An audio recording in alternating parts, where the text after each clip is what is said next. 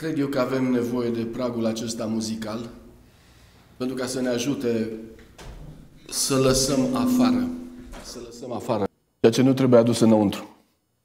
Cu alte cuvinte, să ne despărțim puțin de o săptămână de lucru, de o săptămână de alergare, de o săptămână uneori de zădărnicie.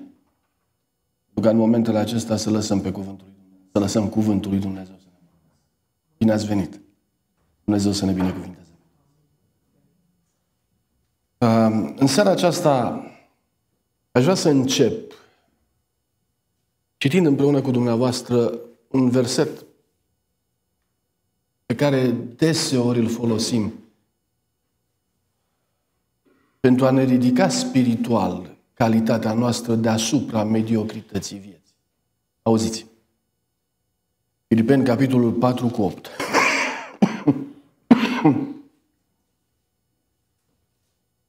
Încolo, frații mei, tot ce este adevărat, tot ce este vrednic de cinste, tot ce este drept, tot ce este curat, tot ce este vrednic de iubit, tot ce este vrednic de primit, orice faptă bună și orice laudă, aceea să vă... Ce înseamnă să vă însuflețească? Să vă inspire, să reușească să vă dea putere. Orice faptă bună, orice vrednic de iubit. Trebuie să mărturisesc că textul acesta mi-a fost sugerat de cineva care mi-a trimis online una dintre poeziile lui Octavian Paller. Avem timp. Eu nu voi citi toată poezia, voi citi până acolo unde am întâlnit textul acesta, sau cu alte cuvinte, până acolo unde poezia m-a trimis la textul acesta. Auziți? Avem timp pentru toate. Să dormim, să alergăm în dreapta și în stânga, să regretăm că am greșit, să greșim din nou, să judecăm pe alții și să ne absolvim pe noi înșine. Avem timp să citim și să scriem, să corectăm ce am scris, să regretăm ce am scris. Avem timp să facem proiecte și să nu le respectăm. Avem timp să ne facem iluzii și să răscolim prin cenușa lor mai târziu. Avem timp pentru ambiții și boli. să învinovățim destinul și amănuntele. Avem timp să privim norii, reclamele sau un accident oarecare. Iertați-mă. Avem timp să ne alungăm întrebările, să amânăm răspunsurile. Avem timp să sfărâmăm un vis și să-l reînviem. Avem timp să ne facem prieteni, pierdem. Avem timp să primim lecții și să le uităm după aceea avem timp să primim daruri și să nu le înțelegem. Avem timp pentru toate.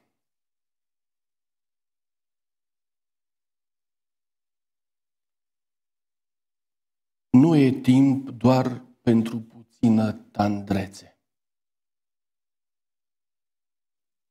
Doar pentru asta.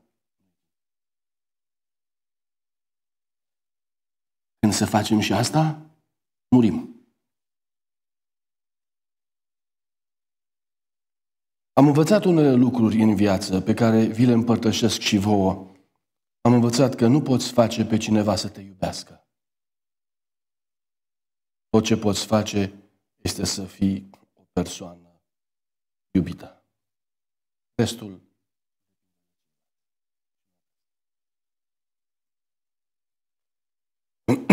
Am învățat că nu poți face pe cineva să te iubească. N-ai cum. Decât tu să fii o persoană vrednică de iubit.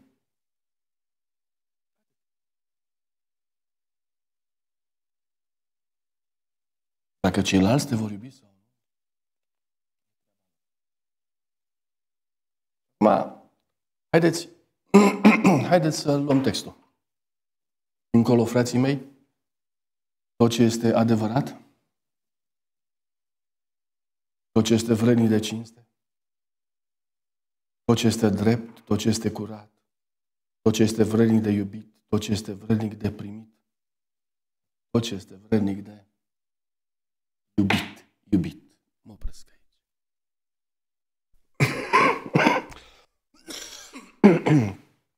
Cred că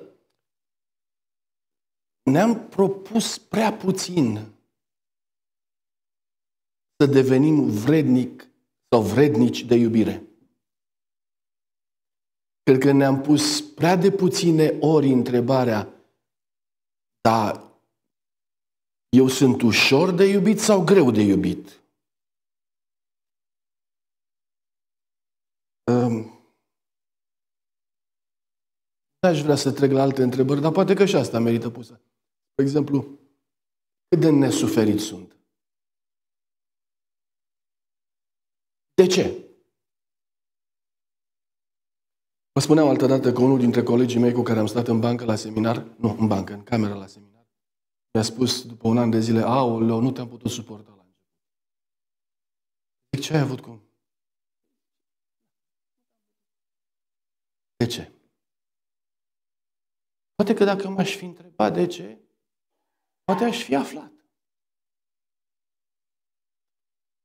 M-a preocupat să fiu vrednic de iubit, adică să pășesc așa printre oameni încât să le fie ușor oamenilor să mă iubească.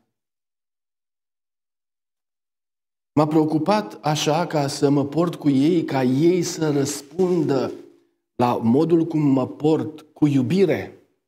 Adică să le deschid sufletul către frumos. M-a preocupat lucrul ăsta sau nu m-a preocupat? Uneori ne preocupă dreptatea, uneori ne preocupă, eu știu, adevărul, uneori ne preocupă alte lucruri, da. Să fii vrednic de iubit. Nu merită să ne preocupe. Când ai dreptate și datorită faptului că ai dreptate, te porți în așa fel încât cei din jur nu te mai iubesc. Pentru că dacă te-ai vedea în oglindă cum ești când ai dreptate.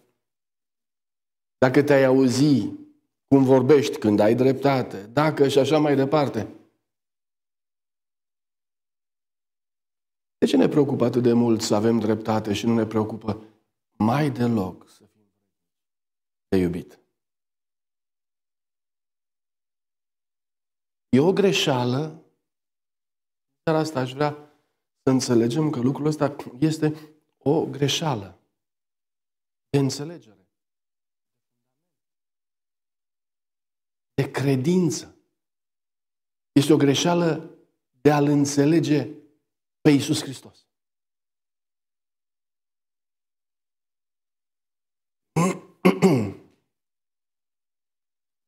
Am încercat să dedic sabatului acestuia exact răspunsul la această întrebare. Și am ales din Scriptură și Spiritul profetic cazul unui om iubit de Dumnezeu, apoi o casă iubită de Dumnezeu, sau după gustul Domnului Isus Hristos, și în sfârșit orașul iubit de Domnul Isus Hristos sau biserica lui. Dar asta cred că vom rămâne la primele două și vom continua dimineața în încercarea de a descoperi care sunt acele principii care îl făceau pe Domnul Isus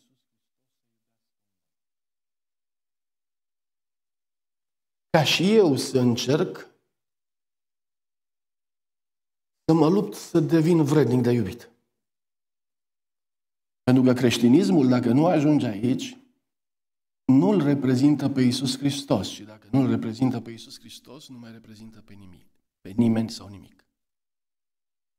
Haideți să facem seara asta frumoasă și ușoară. Marcu 10 cu 21. Deci Evanghelia după Marcu, capitolul 10, cu 21.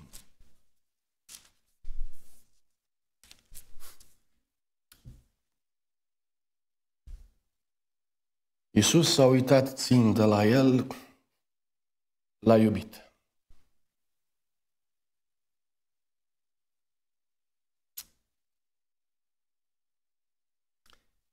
Cum s-a întâmplat asta așa repede? Și s-a întâmplat lucrul ăsta așa de vizibil că ucenicii de pe lângă Domnul Isus Hristos au observat că Domnul Isus Hristos l-a iubit. Probabil că l-au văzut pe Domnul Isus Hristos intersectându-se cu o serie întreagă de oameni.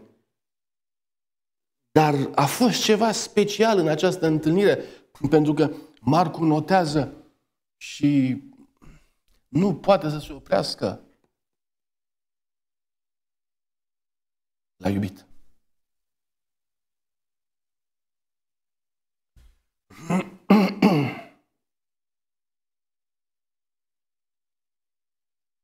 Din Hristos, lumina lumii. Hristos a privit fața tânărului și citindu-i viața, cercetându-i caracterul, l-a iubit și a dorit să-i dea pacea, harul și bucuria care putea să-i schimbe tot caracterul. Vă dați seama ce înseamnă să fim oameni, să trăim pe pământul acesta, să ne zbatem pentru cer, să apărăm principii nobile, principii etice, principii cum vreți, de credință, dar să n-ai în suflet pacea, harul și bucuria care poate să schimbe tot caracterul. Asta este una dintre problemele bisericii creștine, nu doar dintre bisericile, problemele bisericii noastre. Adică suntem oameni care stăm pe scaune aici și care umplem biserica căutând cerul, Dar aceste lucruri care vin de la El nu transpar, nu trec dincolo de noi în așa fel încât să dea pe deasupra. Fără acuz. Nu are rost să ne acuzăm și de asta, că ne acuzăm de demulte. Nu, nu e nevoie să ne acuzăm. E nevoie să înțelegem. Îți lipsește un singur lucru. A zis Iisus, vinde tot ce ai, dă la săraci. Și mută-ți comoara în cer.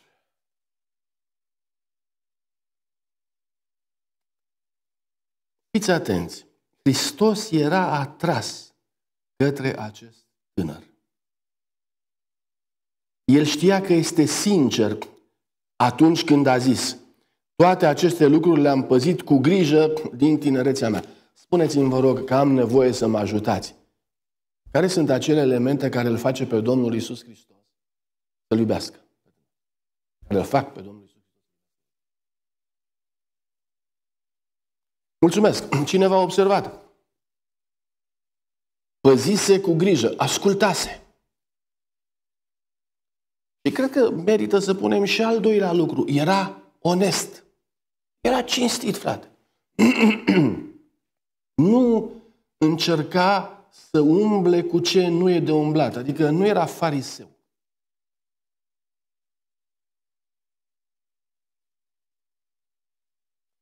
Mântuitorul dorea să-i ofere acea putere de discernământ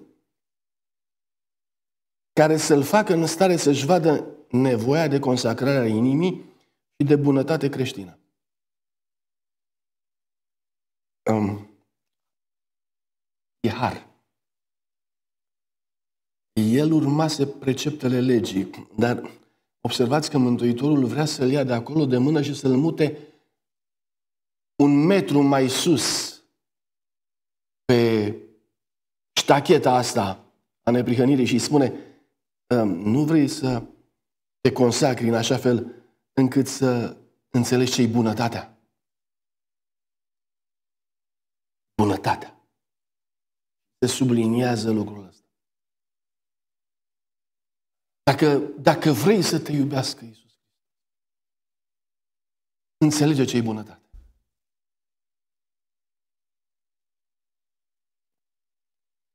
Dorea să vadă în el o inimă nouă, umilă și zdrobită, conștientă că iubirea cea mare îi se cuvine lui Dumnezeu să-i vadă ascunzându-și lipsa în desăvârșirea Domnului Isus. Întâlnirea aia cu Mântuitorul, care Mântuitorul este gata să acopere tot. Tot, dar tot ce era în el.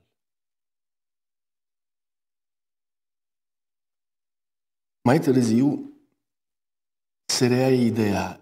Ellen White subliniază, privind la caracterul acestui tânăr, Hristos l-a iubit. În inima conducătorului s-a trezit iubirea pentru Hristos. Iubirea de naștere la iubire. Este un alt lucru care mi se pare extraordinar. A fost acolo ceva, minutele alea, când s-au privit reciproc. Mântuitorul l-a iubit pe tânăr iar tânărul l-a iubit.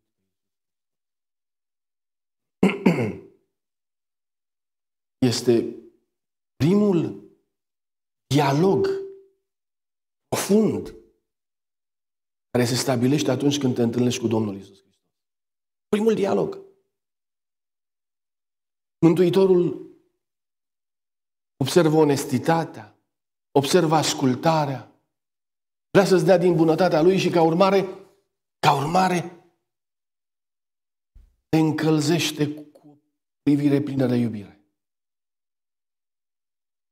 Și te încălzește. Încep să iubești. O să vă întreb, nu vi s-a întâmplat lucrul ăsta îndoiți genunchiul în fața Scripturii. Atunci când vă vorbește Dumnezeu de iubire, nu răsare în suflet. Inexprimabilă dragostea lui Dumnezeu, că nu știi de unde De ce o pierdem așa repede? De ce nu rămânem acolo? E o altă problemă. Dar ce bine ar fi dacă ceea ce am câștigat în momentele alea de dialog, de privire cu Isus Hristos, ce bine ar fi dacă am păstra, ce bine ar fi fost dacă tânărul care se afla sub această descoperire a iubirii, sub această descoperire a, a, a, a strălucirii caracterului lui Dumnezeu, dacă ar fi zis, eu nu mai vreau să plec de aici. Nu mai vreau să plec. Punct. Și i-ar fi cerut Iisus Hristos să renunțe la tot ceea ce avea. Dar nu era o problemă. Dacă reușea să descopere Că dincolo de ce are el este altceva, mult, mult, mult mai prețios. Auziți? A trezit iubire pentru Hristos, căci iubirea dă naștere la iubire. Frații mei, e multă plângere în lumea creștină. Nu mă iubește nimeni. Nu? Frații nu, nu iubesc. Mai apare și pronumele nu, mă iubesc. Auziți numai puțin. Poate că ne va ajuta. Iubirea naște iubire. Vrei să fii iubit? Întinde mâna. Zâmbește. Iubește. Vorbește cuvinte frumoase. Fă treaba asta. Nu te plânge. Nu nu e iubire. Iisus dorea să-l vadă pe acest tânăr un împreună lucrător cu el. Auziți ce urmează, e extraordinar. El dorea să-l facă să-i semene. Tot ceea ce a făcut Domnul Iisus Hristos pentru tânărul ăsta a fost o lucrare extraordinară, să-l facă cumva să semene cu el. Vă dați seama ce a refuzat? Vă dați seama ce refuzăm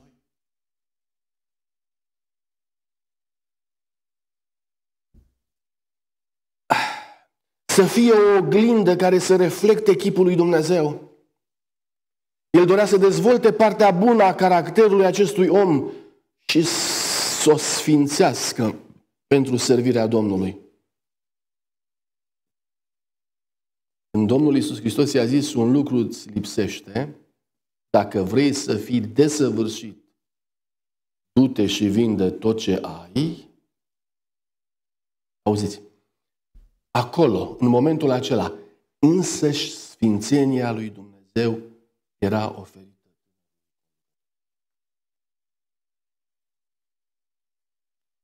Ehm, Mântuitorul nu se poartă ușor, trivial.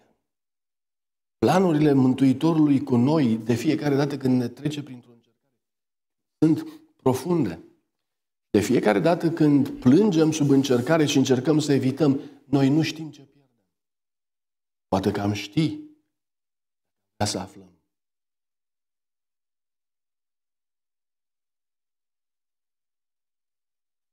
Este cumva așa. Alegeți astăzi cui vreți să slujiți. Și alegerea e lăsată pe seama lui. Și de aici începe caracterul. Suma de alegeri pe care le facem vor forma caracterul care ne vom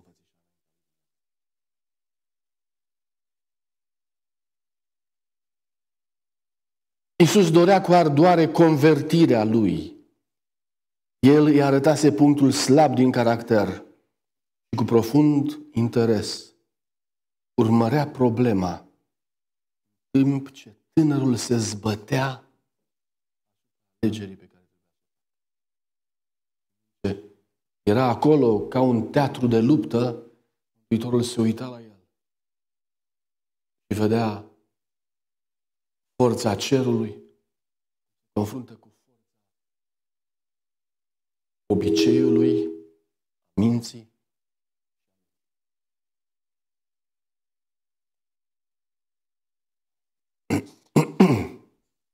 Untașul a înțeles repede tot ce cuprindea. Nu e că n-a înțeles. A înțeles tot. Tot ceea ce vă spun eu, dumneavoastră, adică tot ceea ce citesc eu,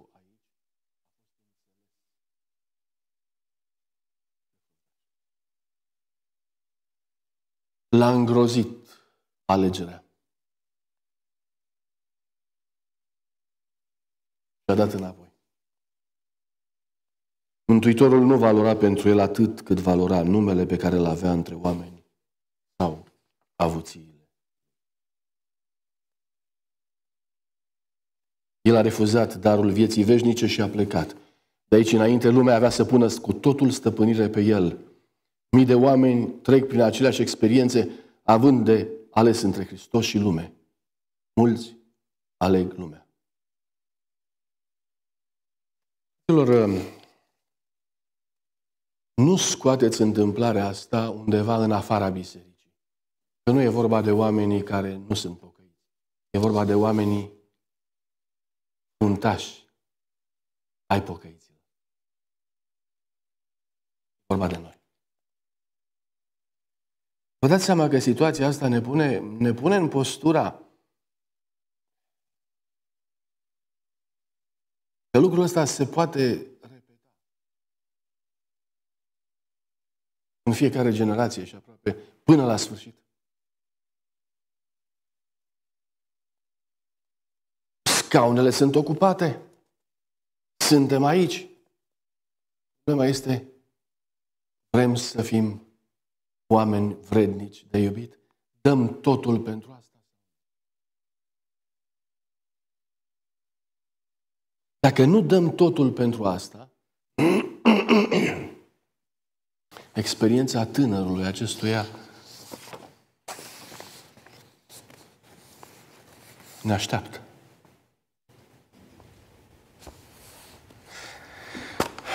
Deci, ce-l face pe un om să fie iubit de Domnul Isus Hristos? Haideți să recapitulăm. 1. Să fie sincer. 2. În sinceritatea lui să asculte. Mulțumesc. 3. Dincolo de ascultare trebuie neapărat să apară bunătatea. Dacă bunătatea nu apare în structura și în caracterul unui creștin, celelalte nu au valoare. Examenul se va da și la cele 10 porunci. Dar examenul tânărului s-a dat unde? La bunătate. Examenul tânărului s-a dat la bunătate. Iisus Hristos dorește ca noi să avem caracterul Lui.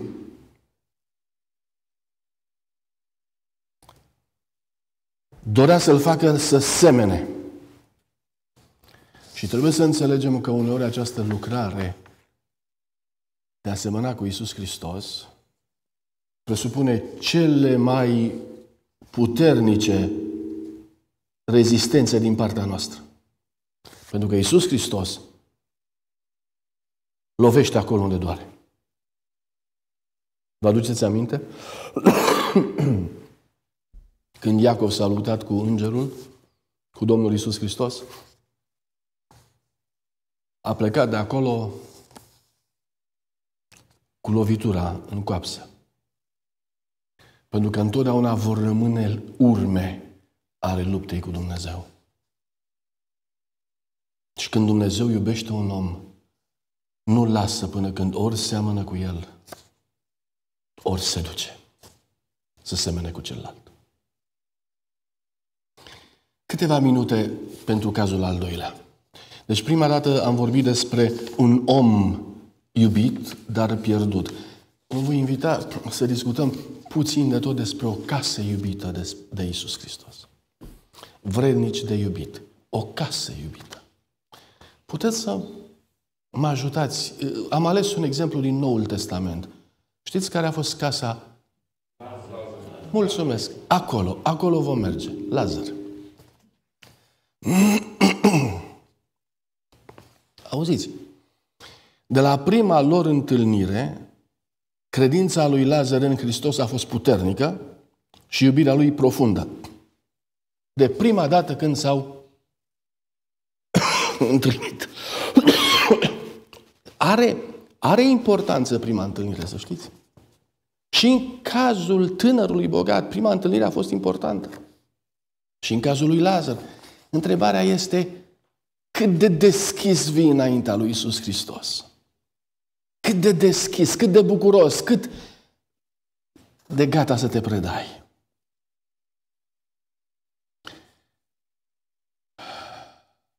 Urmează un gând impresionant. Haideți cu mine. Isus iubește toată familia omenească. Dar față de unii este legat prin legături deosebite. Vreau să vă întreb aici, ce învățăm din treaba asta? Adică, eu pot să pricep două lucruri din nefericire. Ar trebui să pricepem doar unul. Dar pot să pricep două lucruri, și anume, lasă că o să ajung în cer și dacă nu mă iubește chiar special. Știți că pe unii îi iubește cu legături deosebite, cum ar fi Lazar, dar nu numai Lazar a intrat în cer, a mai fost și alții care au intrat în cer. Uite și Tâlharul a intrat și el în cer, nu? Uh, am putea să luăm ideea asta. Uh, ce credeți că ar fi important de înțeles de aici când spune el iubește toată familia omenească, dar pe un, față de unii este legat prin legături deosebite? Ce ar trebui să înțeleg eu, ce ar trebui să înțelegeți dumneavoastră? Care e ăia? Care oamenii ăia? Vă dați seama că aici, practic, este o invitație pentru ca fiecare dintre noi să devenim oameni care să aibă o legătură deosebită cu Isus Hristos. Isus Hristos nu ne va lăsa cu niște legături așa atrofiate, generale, oricum ar fi. Nu! Există o cântare a mielului pe care va trebui să o cânte și de asemenea cuvântul mărturisirii lor pe care va trebui să-l cânte cei mântuiți. Și acolo, în cântarea aceea, există legătura specială pe care Dumnezeu a, Domnul Iisus Hristos a realizat-o cu fiecare dintre cei mântuiți. Toți cei mântuiți fac parte din această categorie a oamenilor speciali.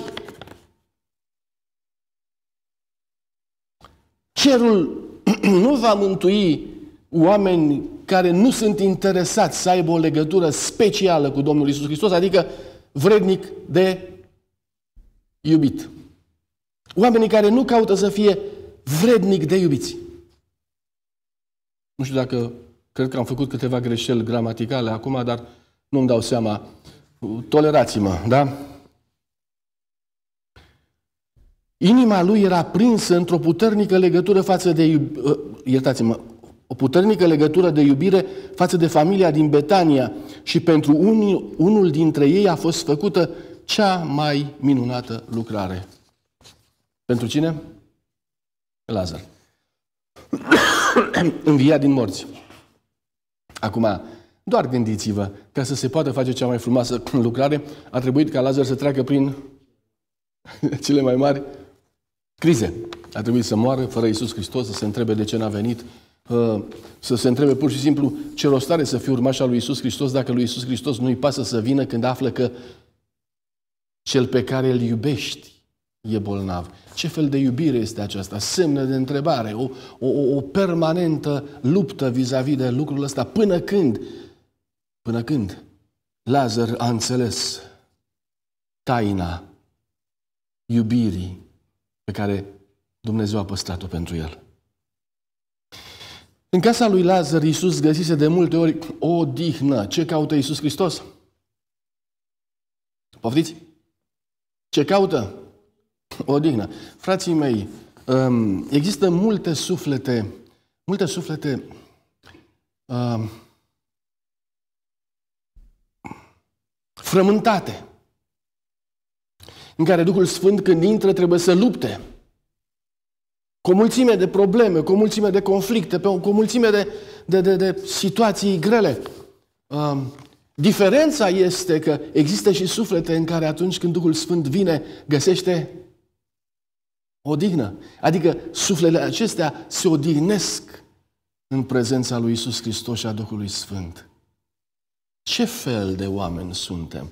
Cum este casa noastră, casa sufletului nostru? Își găsește Iisus Hristos odihna în mine. În momentul în care spune, nu știți că voi sunteți temple ale Duhului Sfânt și nu sunteți ai voștri, că ce să cumpărați cu un preț, în momentul acela, cine sunt eu?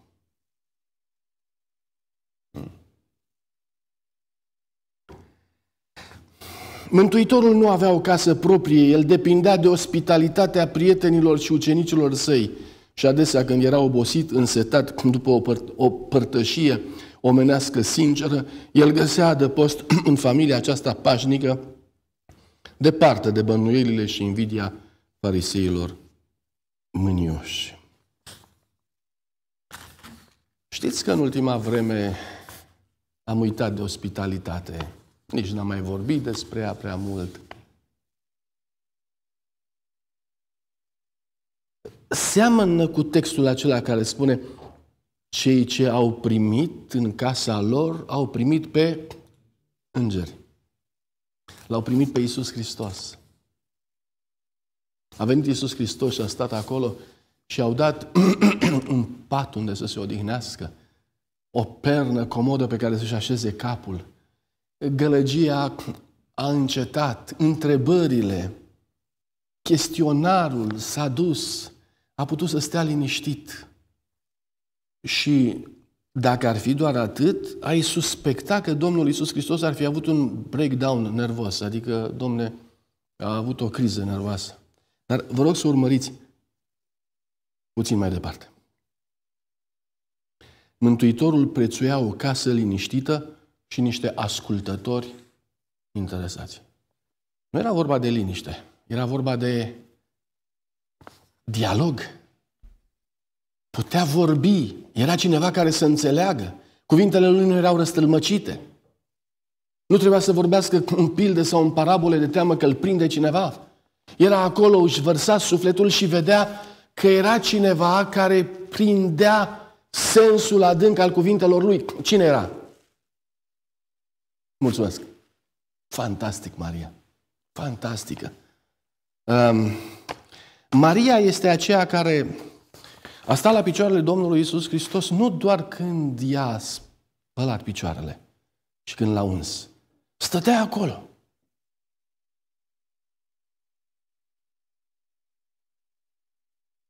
Locul ăsta o, consac- o, o consacră pe Maria. E fantastic. Atât de mult a stat acolo încât a scos-o din răbdări până și pe Marta. Auziți aminte? Doamne, spune să mai vină să mai facă ceva și în bucătărie, că atâta știe să facă teologie.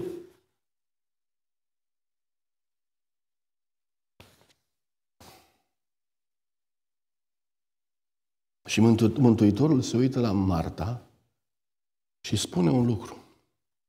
L-am găsit aici. Ea uitase să se poarte delicat față de oaspete, față de Domnul Isus Hristos. Intrase în capcana aceea lui Simone. Simone, Simone, am intrat în casa ta și nu mi-ai dat sărutare, nu mi-ai spălat picioarele. Maria era acolo. Vreau să vă întreb. Nu știu cum. N-am niciun argument.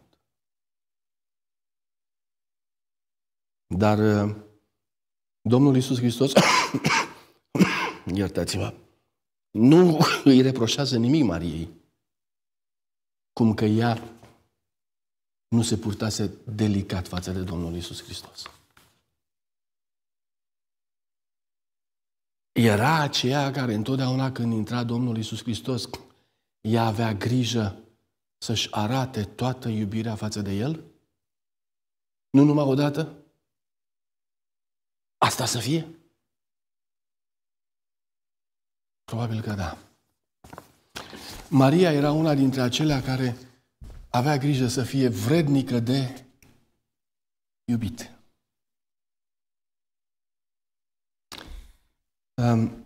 Noi nu vom putea înțelege bătălia între bine și rău fără să înțelegem calitatea iubirii lui Isus Hristos pentru noi. Vom putea, iubi, vom putea vorbi despre balauri, vom putea vorbi despre uh, profeție, vom putea vorbi despre ceea ce se întâmplă în stânga și în dreapta. Dar asta toată lumea le știe. Ceea ce lumea nu știe nu știe să fie vrednică de iubit. În seara asta vreau să vă provoc ca începând de acum credința noastră să aibă componenta asta. Când voi veni aici la biserică, să fiu vrednic de iubit, să mă port cu frații mei încât să le fie ușor să mă iubească. și dacă dânsii chiar nu vor putea să mă iubească, să mă întreb de ce. Și de aici încolo, probabil că e dreptul dânșilor. Dar eu să fac totul, dar absolut totul. Să-mi schimb parfumul dacă cumva parfumul nu place. Să-mi schimb hainele dacă hainele deranjează pe cineva. Să-mi schimb locul dacă prin locul meu am deranjat pe cineva. Haideți, frații mei, să căutăm să fim vrednic de iubit. Amin. Îți mulțumim, Tatăl nostru, pentru că prin harul pe care l-ai adus în viața noastră, ne înveți, Părinte, să căutăm vrednicia de a fi iubiți. În primul rând de tine, Părinte, ca fiind acela care ai produs iubire în universul acesta și care o așezi în sufletul nostru. Apoi, Doamne, vrednici de a fi iubiți de semenii noștri. datorită tandreții noastre, datorită frumosului pe care l-am învățat de la tine, datorită faptului că ai fost prea bun și bunătatea ta s-a luat, Doamne, de la tine la noi. Fă binele acesta bisericii tale din Lomalinda și ajută-ne ca fiecare să trăim sub bunătatea, sub harul și sub dragostea ta. Amin.